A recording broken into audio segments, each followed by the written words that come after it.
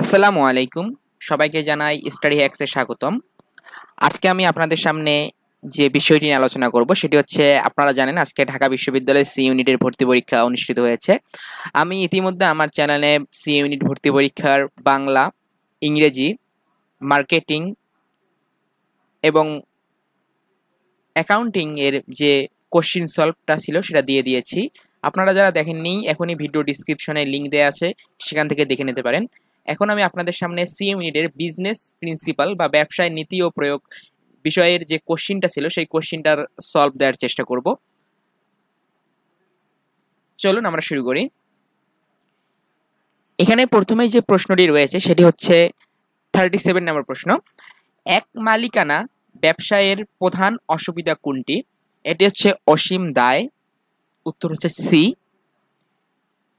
আটত্রিশ নম্বর প্রশ্নটি হচ্ছে সমবায় সমিতি গঠনে কমপক্ষে কতজন সদস্য প্রয়োজন? এর উত্তর হচ্ছে সি, দশজন। উনচল্লিশ নম্বর প্রশ্নটি হচ্ছে, নিয়ন্ত্রণের ভিত্তি কি? নিয়ন্ত্রণের ভিত্তি হচ্ছে পরিকল্পনা। এর উত্তর হচ্ছে সি, পরিকল্পনা। পরবর্তীতে চল্লিশ নম্বর প্রশ্নটি হচ্ছে, ফ্রাঙ্ক কিলব্রেথের নাম কোন কাজের সাথে বিশেষভাবে স্মরণীয়? এটি হচ্ছে সময় ও গতি নিরীক্ষা। উত্তর হচ্ছে এ। একচল্লিশ নম্বর প্রশ্নটি হচ্ছে, কার্যভিত্তিক সংগঠনের উদ্ভাবককে এর উত্তর হচ্ছে বি, এফ ডাব্লিউ টেলর। বিয়াল্লিশ নম্বর প্রশ্নটি হচ্ছে, আধুনিক সংগঠন কাঠামো কোনটি? এর উত্তর হচ্ছে বি, ম্যাট্রিক্স। তেতাল্লিশ নম্বর প্রশ্নটি হচ্ছে, সম্পদ আহরণ ও প্রক্রিয়াজাতকরণ ব্যবসায়ের কোন কার্যাবলীর অন্তর্গত? এটি হচ্ছে উৎপাদন বা প্রোডাকশন চুয়াল্লিশ নম্বর প্রশ্নটি হচ্ছে, অংশীদারি ব্যবসায়ের মূল ভিত্তি কোনটি? এটি হচ্ছে চুক্তি। পঁয়তাল্লিশ নম্বর প্রশ্নটি হচ্ছে, কোম্পানির অস্তিত্ব কোন ধরনের? এটি হচ্ছে চিরস্থায়ী। পরবর্তী প্রশ্নটি হচ্ছে, পরিকল্পনার সংখ্যাতত্ত্বক প্রকাশকে বলে? বাজেট, এর উত্তর হচ্ছে সি, বাজেট।